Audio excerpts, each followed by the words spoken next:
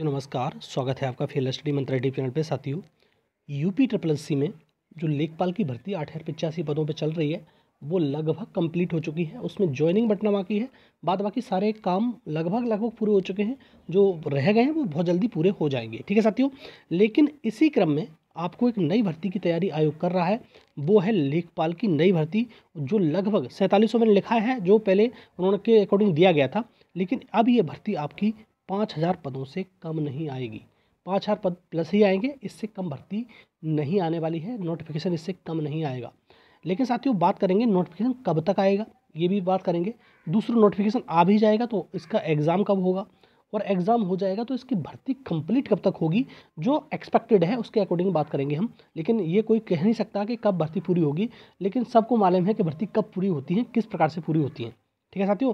तो पाँच हज़ार पदों पर आपका नोटिफिकेशन मान के चलिए फिक्स है, आने वाला है। दूसरा पैट में स्कोर जो पैट का स्कोर है वो आपने देख भी लिया होगा। और क्या इसमें पैट में कितने नंबर वाले सेफ़ हैं, कितने नंबर वाले तैयारी शुरू कर दें? भाई, सीधी बात तो यही होती है कि मेरे इतने नंबर आए क्या मैं तैयारी शुरू कर दूँ? तो यही सिस्टम होता है कि मैं ये भी बताऊँगा कि कितने मार्क्स वालों को तैयारी शुरू कर देनी चाहिए और एकदम निश्चित तौर पर तैयारी शुरू कर देनी चाहिए। लेकिन ऐसा तो है नहीं कि आपने आज तैयारी शुरू, आज नोटिफिकेशन आ गया और आपने तैयारी शुरू करी, आप जॉब ले जाओगे। बिल्कुल नहीं पॉसिबल ही नहीं है।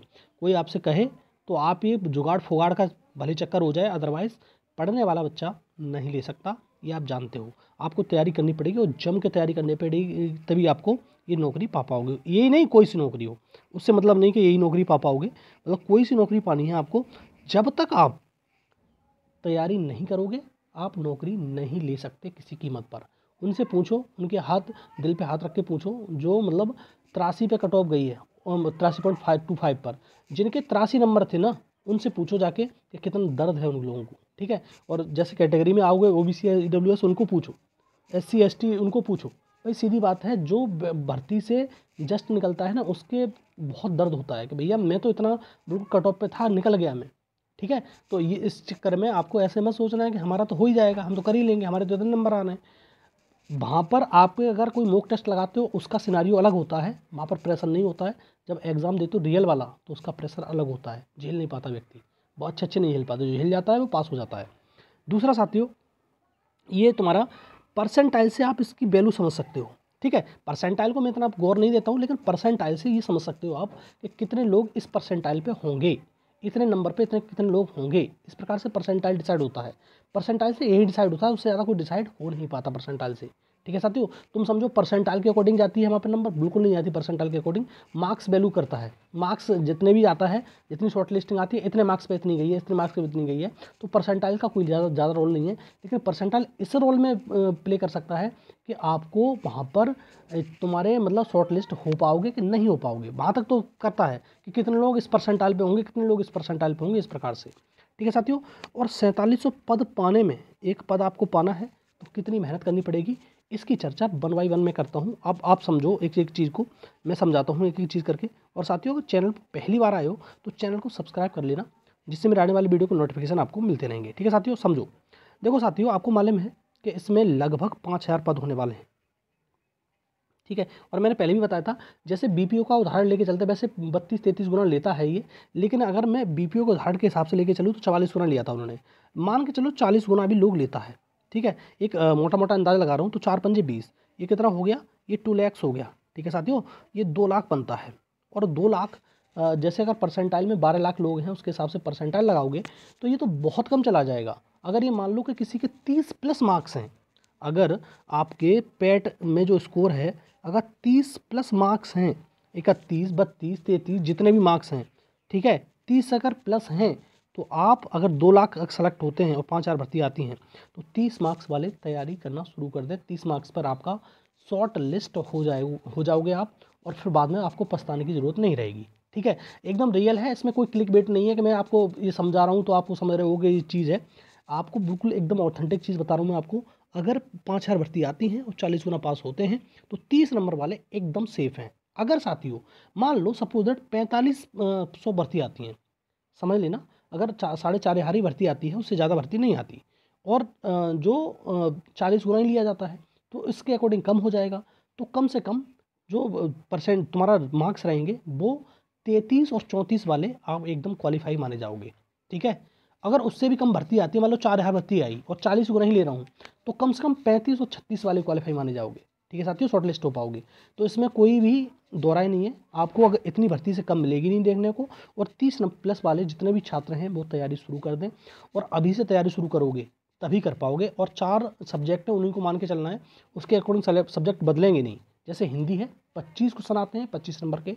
मैथ है, पच्चीस क्वेश्चन आते हैं पच्चीस नंबर के, जो सिलेबस है उसके अकॉर्डिंग बता रहा हूँ।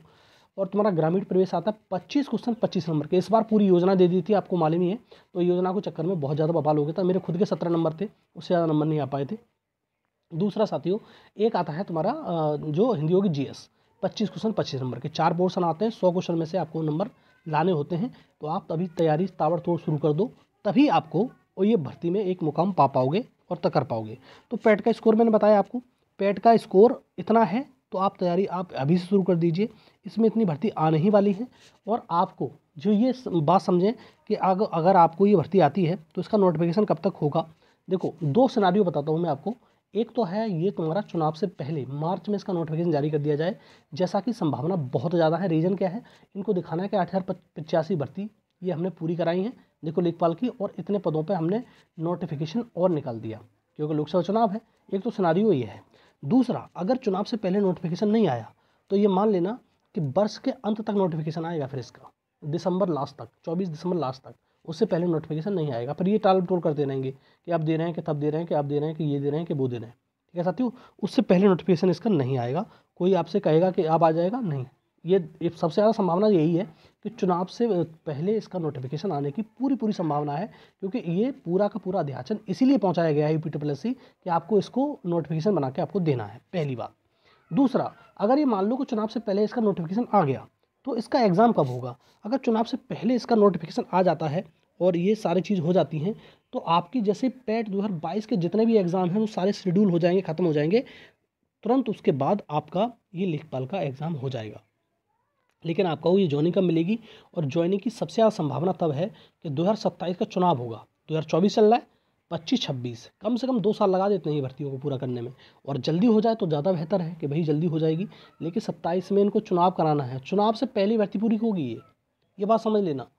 ठीक है? तो ये सारी चीज़ें हम कंसिडर करके चलते हैं। वैसे तो भर्ती को, ये तो चलो कोर्ट में फंसी रही, जल्दी हो जाएगी तो और बेहतर है कि मान लो कि चौबीस में मतलब चौबीस तक आपको पूरा हो गया, पच्चीस में आपका सब होके पच्चीस में आपको लास्ट में ज्वाइनिंग भी दे दी जाए।